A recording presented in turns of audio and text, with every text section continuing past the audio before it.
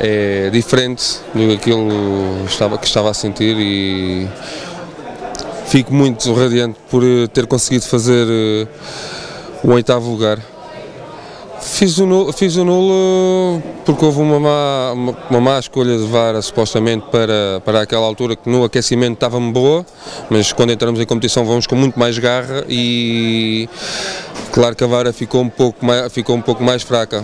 Logo a seguir mudei, mudei eu, juntamente com o meu treinador, Raposo Borges, uh, decidimos em mudar, uh, mudar de vara e consegui passar à segunda tentativa. Há vários tamanhos de varas, há várias flexibilidades de varas para certas, certas e determinadas alturas.